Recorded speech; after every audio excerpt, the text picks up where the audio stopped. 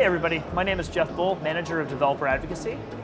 And my name is Hugo Latapie. I'm a principal re uh, researcher in Cisco Research, uh, ET&I, Emerging Technologies and Incubation. Hugo, it's great to have you here. Thank um, you so much. My first time overseas, so my first time at Cisco Live in EMEA, which is really cool. Exciting. Um, it is, and you know, as walking around today and kind of getting this first day at the event, getting to see all the different technologies. Um, what's interesting to me is we don't like. I didn't notice. I didn't notice anywhere like a big zone that's like our AI zone or whatever. Yeah. And I, the reason I say that, half serious and half joking, is everyone's seeing ChatGPT. Yeah. It's everywhere. It's getting talked about. And I'm going to be honest. I've written. I, I should. I, I I haven't written full three blog posts off of it, but I have used it several times. And we were talking pre-show that like it is surprising how good it is at coming up with wording. Yeah. I will tell anybody who watches, I haven't like written, used it, and then taken it verbatim. That wouldn't be smart. What I do is you use it as a way to get you some motivation, like, oh, I hadn't thought to use those words. Okay, thank you, and I can move things around. But I wanted to kind of give you an opportunity since you spend a lot of time in research thinking yeah. about artificial intelligence and mm. ML and the things that come along with that. I'd love to hear, you know, the Chat GPT thing as a started like a seed, but yeah. What are you working in your group working on research wise around AI? And what right. is it What's the landscape of that look like for us? Right.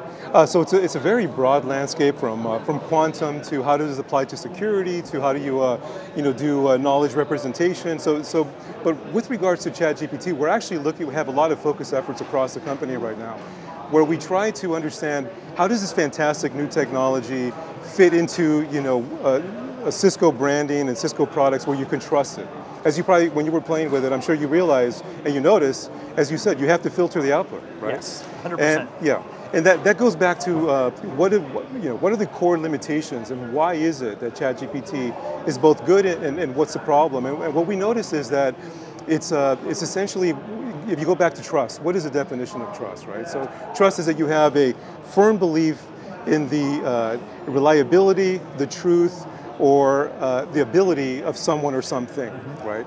And in that, if you, if you put that into the question of would you trust Chat GPT, you probably wouldn't trust it, right? The data that, you know, it makes a lot of mistakes and all that sort of thing. And so then the question is why why does it have these problems? You know, how do you, is it easy to fix? And now we all know uh, with people and systems that we interact with, uh, you know, it's not always easy to, if you can't trust something, to just fix it retroactively, right? Once, once you have a trust issue, uh, you typically, it's not that easy to find some way to, whether it's a system or a person or whatever it is, right? Uh, and so let's talk a little bit about what the, the source of that uh, trust problem is. And it goes back to the way that uh, all of these machine learning and deep learning systems are, are trained. And go, uh, uh, one of the best statisticians in the world, George Box, he talked, he, he had a saying that he said, all models are wrong, but some are useful, right? And it's a really important thing to kind of uh, to kind of keep in mind.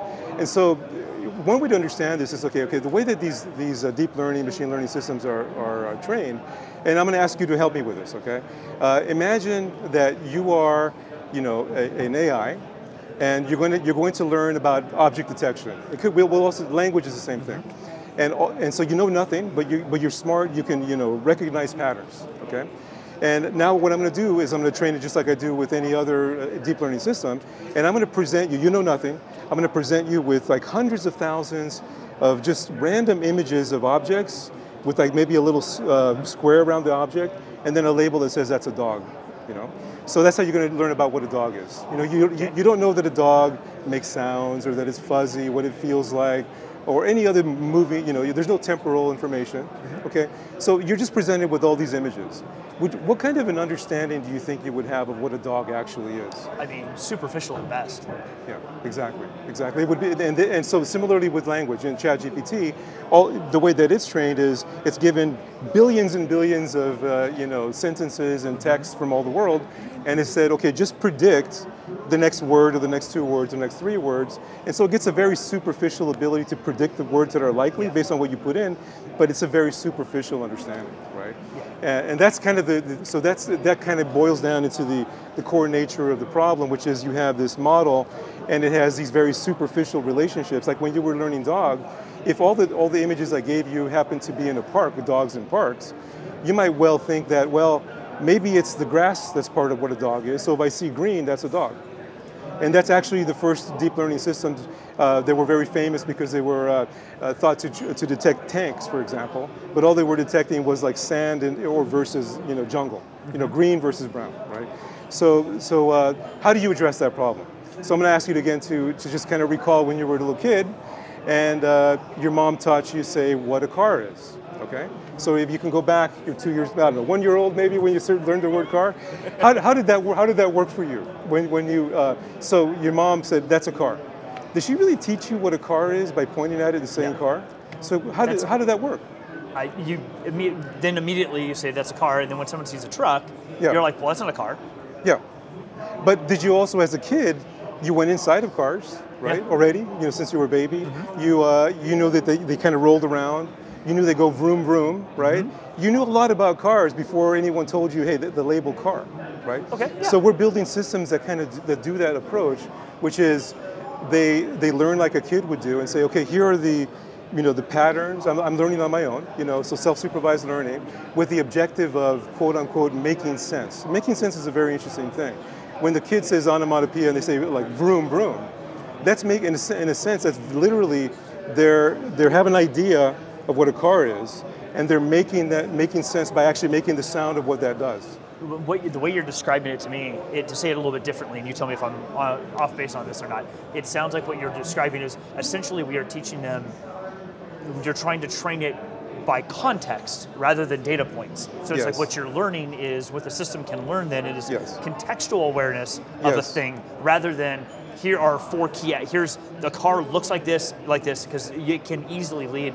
And you know, thinking about it like that also brings to mind a lot of the the un, unintended side effects, hopefully unintended side effects, where there's things like you know, if you're talking about people, the yeah. human side of uh, yeah. AI training, and ML training, or data data training is it's really easy to unintentionally train a data set to be biased towards certain attributes, exactly. whatever those are. Exactly. Whether it's an unintended consequence or not, it's really easy because yeah. because if you lack the context, yes.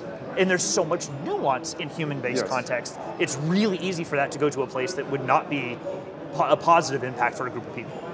That's a great point. That's actually one of the things that really excites us is when you get deeper understanding of what's happening. You know, why of all you know the behaviors and the the events that are happening, the, the you know the objects that are in that, what predicts events. When you just as any human or any animal really does, right? Then you know you're you're you have a better bias towards truth in a sense because it's just what's happening. You, the what you're biased towards is learning what predicts what's going to actually happen with semantics that are kind of multimodal, you know, so you have not just the, the time domain, you know, you're seeing things evolve, but you're seeing, uh, you know, sound, you're hearing sounds, you're, you know, you got visual input. In networking, you could have telemetry, security, you're bringing all that together.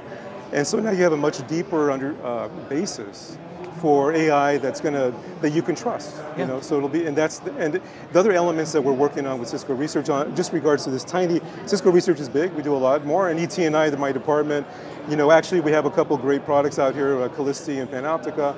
You know, we're all about kind of uh, a new approach to incubating our own businesses, new, new lines of businesses. Mm-hmm. But with regards to the AI small piece of the world, I have, uh, we're working with a lot of universities right now. Oh, okay. So, you know, universities are bringing new uh, learning by reasoning technologies, new things, new ways of, uh, you know, representing knowledge in, in, uh, in ways that it's it's more uh, it's not as brittle you know as what we've seen so far. Um, so many many different kinds of projects you know that, that we're bringing. This is everything from hyperdimensional computing to things called like it's, it's neurosymbolic is our approach. The current um, AI that you see is all what we would call sub-symbolic statistical models right? And we think that you have to bring in symbolic model causal reasoning you know, uh, and, and other kinds of reasoning. And then you have to integrate these things tightly. That's that kind of what we're calling hybrid AI. And we have actually a very cool project, um, uh, Deep Vision, that we'll be uh, releasing soon. And there's a lot of other work that we've done where we've applied this AI that I'm mentioning to you mm-hmm. uh, to uh, networking projects, security, you know, uh, and video analytics. And we think it's going to it's going to be kind of revolutionary across the board. That is, you know, it's there's probably so much more we could talk about. Um, but the thing that just struck me in what you, you said about bringing those two different um, ways of uh, like viewing the data that's out there. I, for a network engineer, this has been like the classic problem that, like, as a network engineer, we've dealt with forever is I've got all these tools and feeds of data telling me errors or things, events that are happening. Yeah. And wouldn't it be great if some tool could say, based off of these four or five streams of data that are coming in, very likely the actual problem here is yes, this. Yes. And even if it's, as we talked about in the beginning with Chat GPT, even if it isn't 100% reliable that that is the, actually the answer, if it gets you a head start in the direction yeah. you need to go look, yeah. yes, efficacy of data and all that needs to be, has to get where it has to get, but if it can give you a head start to where you yeah. need to go, like the mean time to remediation yes. for network engineers or anybody else really, improving that that alone would have would I think open the door to more and more businesses and companies and individuals finding their inspiration to do re- really interesting creative things out oh, there. Oh, yeah. But yeah. we I think even in the last five, ten years we've seen with more DevNet and other things where where us along with a lot of others are inspiring people to build and learn and develop because we're still stuck in this mean time to resolution type model it still hinders thought creativity amongst yeah. people to really go solve interesting problems because we're still kind of stuck. You just hit my like my favorite use case. So we actually we didn't do it on four strings. We uh, like a typical as you know, an enterprise network environment, you're looking at hundreds of thousands.